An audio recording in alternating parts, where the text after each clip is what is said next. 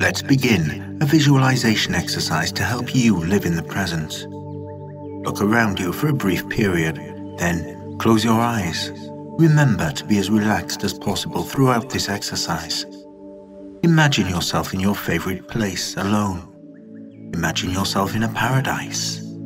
Imagine yourself engaging in all the activities that make you happy. Feel as if the only rule in your paradise is to spend time for relaxation. As you settle down in that place,